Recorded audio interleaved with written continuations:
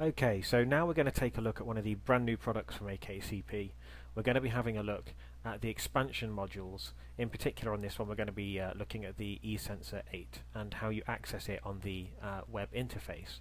Now once you've gone ahead and uh, obviously you've connected your eSensor 8 to your security probe, um, obviously you want to access it so you'll need to navigate to the uh, security probe web interface and uh, as soon as you uh, log in you're brought to the summary page.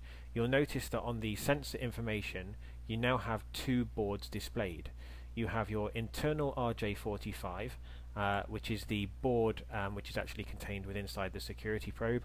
And you also have your new board which is uh, this one that's named here. Uh, and we've also plugged a uh, dual sensor into that one so now we can see that we have a temperature and a humidity sensor. Um, so in order to access this board you can either do it one of two ways. You can either click on the board or you can actually go to the sensors tab. It will take you to the same page. So let's just go ahead and we'll click on the sensors tab. Okay, so here we are in our sensors and you can see at the moment uh, it's displaying the internal RJ45 board uh, with the dual sensors but we want to access the uh, the expansion module. So in the sensors menu on the left hand side below the sensor port we have the one that says extended port so we'll go ahead and we'll click the extended port.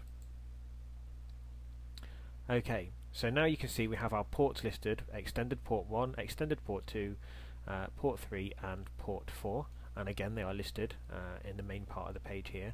And you can see that in extended port 1 of the SEC5e we have uh, our board, our expansion module plugged into that port. So we'll go ahead and we'll click on that expansion module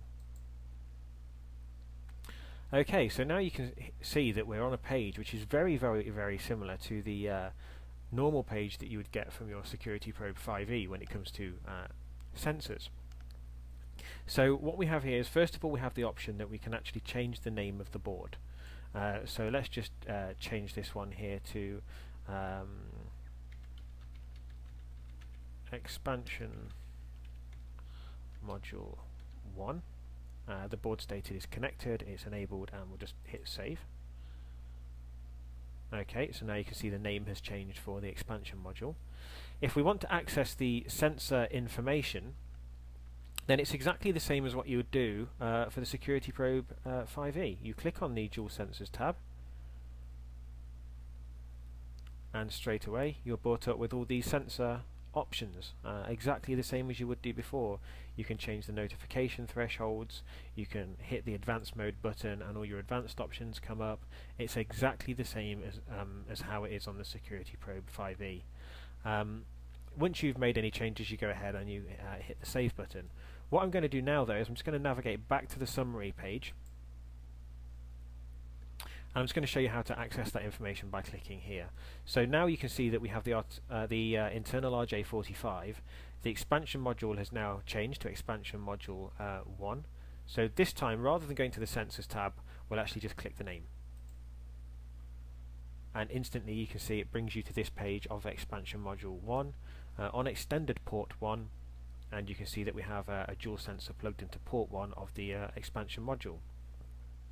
Uh, and that's it, that's uh, all there is to it.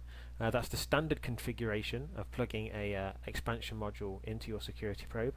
Uh, in the next tutorial we're going to have a look at daisy chaining them together.